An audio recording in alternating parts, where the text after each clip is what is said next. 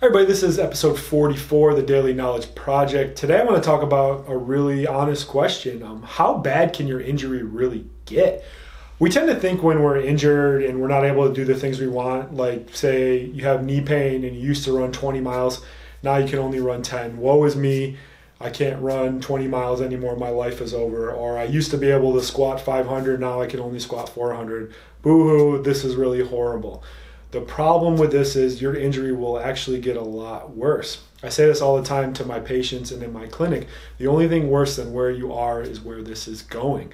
We tend to live very short sighted. So if you're 20 or 30 and you're already having knee pain, you're having neck pain, low back pain with working out, how do you think this is going to be when you're 50 or 60 or 70? We tend to not really think of the long term effects of what's going on with our injuries, and we usually wait till it's so bad before we try to figure out a solution for our problem.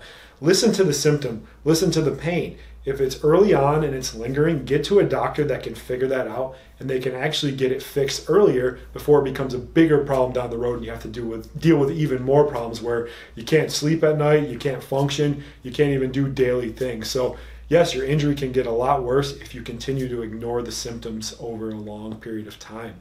That's my video for today. I'll see you guys tomorrow.